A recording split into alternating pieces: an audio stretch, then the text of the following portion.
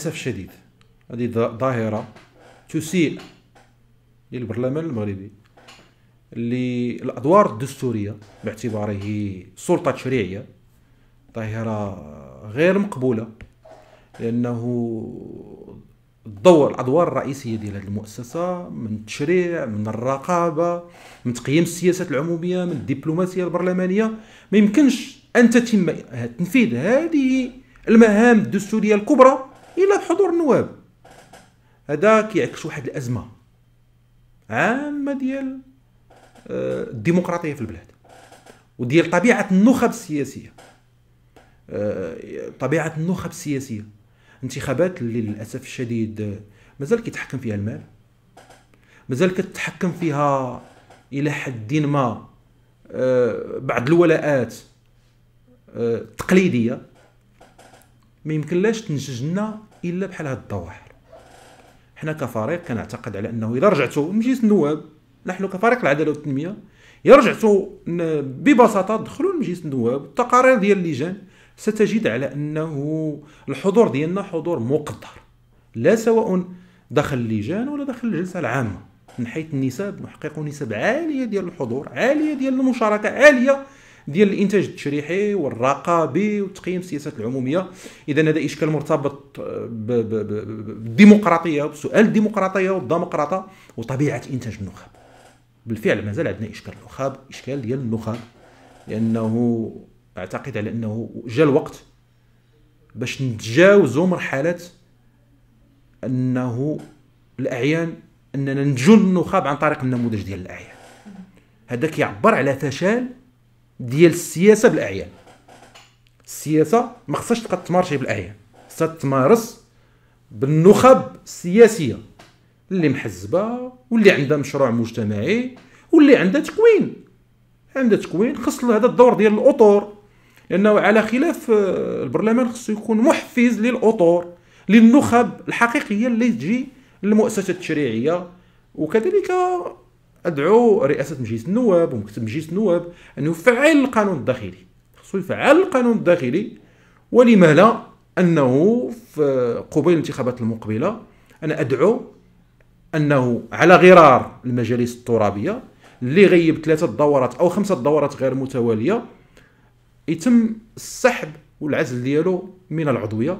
لما لا أن ننفذ هذا المقتضيات القانونية اللي كاينة في الجماعات الترابية أن يتم التنصيص عليها في القوانين الداخلية لمجلس النواب وكذلك لمجلس المستشارين علاوة على الإجراءات الأخرى المرتبطة بالغرامات المالية وباقتطاع مجموعة من التعويضات المالية ولكن خصنا نوصلوا لها لأنه غير مقبول في نظري أن يتم التغيب بشكل كبير لأنه للأسف نقولوها بصراحة كاين برلمانيين اللي ما كنشوفوهم إلا في نهاية الدورة. كاين برلمانيين كنشوفوهم إلا في نهاية الدورة. ماشي معقول. ماشي معقول بتاتا أنهم يجوا حتى نهايه الدورة. عاد كاين برلمانيين اللي هما غادروا التراب الوطني وما كيحضروش نهائيا للأسف الشديد. خاص خاص مدخل تشريعي ومدخل قانوني لتجاوز هذا الاشكال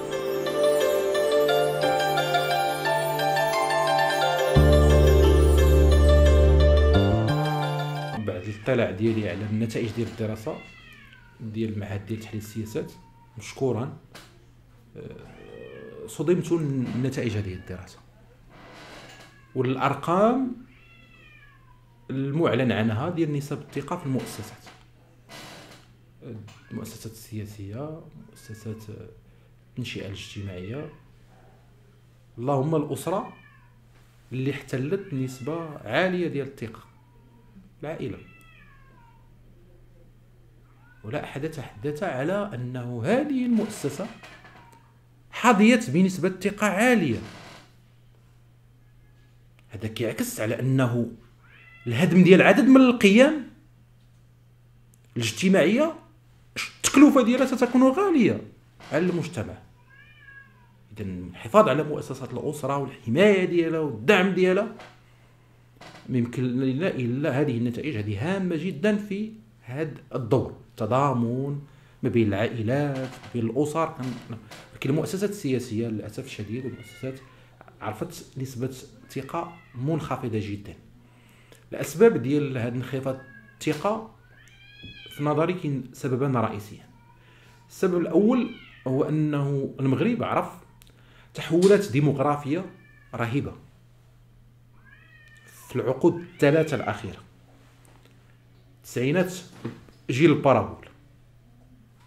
2000 جيل الانترنت.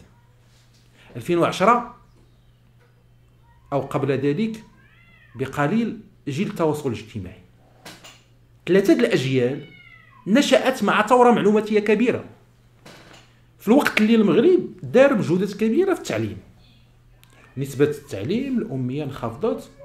إذا نسبة الوعي المستوى الاجتماعي ديال المغاربة تطور حجم الطلب الاجتماعي على المؤسسات ديال الدولة ما قدراش تواكب هذا الحجم ديال الخصاص الاجتماعي الكبير. بالرغم من المجهودات اللي كيديرها المغرب. اذا عندنا ثورة معلوماتية عندنا تحول ديموغرافي وعندنا مؤسسات سياسية تتطور ببطء. كاين تطور ولكن ببطء. هذا الهامش هذا ليكار هذا الفرق ما بين التطور الذي يعتمد داخل المجتمع من الناحيه الديموغرافيه وما بين. ال... ال... ال... الإمكانات المتاحة لدى الاقتصاد المغربي لدى المؤسسات محدودة وبالمقابل عندنا أعطاب سياسية مازال ما قدرناش نتجاوزوها المرتبطة بالعمل الحزبي بالمؤسسات والقيام بالأدوار ديالها كذلك هناك حملة رهيبة على المؤسسات ديال الوسطاء في المجتمع. كاين حملة كبيرة جدا. حملة كيساهموا فيها عدد من الأوجه كيساهم فيها الإعلام للاسف الشديد. واش هذا البلد ما فيه حتى شي حاجة مزيانة يمكن لنا نصوتوا عليها نصو نسلطوا عليها الضوء. لا يتم تصويت الضوء تسليط الضوء إلا على الاختلالات والأزمات وال... وال... والفضائح و... ماشي غير هادشي اللي كاين في المغرب. كاينة إنجازات اللي خص وكاينه أعمال وكاينه مساهمات قيمة ديال كافة المكونات ديال المجتمع وديال الدولة وديال الشعب. حتى هو التسليط عليها. إذا عندنا تحديات مختلفة. هذه إشكالات كبيرة. مطلوب أننا نشتغلوا جميع نشتغلوا جميع الدولة الأحزاب الحكومة البرلمان على التحسين ديال الصورة ديالو وعلى القرب. الآن محتاجين إلى ثقافة القرب من المواطن. ما بقاش وقت ديال أنه المسؤولين قبل ما تخرجوا ما تنساوش تابوناو في العشرين فبراير وتابعونا على المواقع التواصل الاجتماعي.